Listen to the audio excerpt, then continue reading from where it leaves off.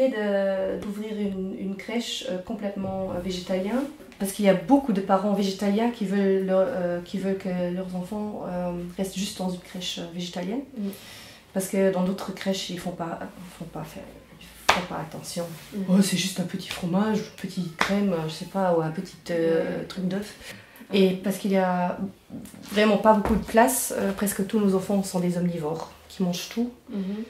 Parce que les parents, ils sont juste, yeah, on a une place, euh, ils s'en foutent, c'est qu'il y a à manger parce qu'ils ils peuvent, ils peuvent aussi manger à la maison. Mais les parents, ils disent, c'est super parce que euh, on fait le petit déjeuner, c'est toujours quelque chose d'autre, euh, ou c'est du pain sec, euh, ou c'est du, pain normal.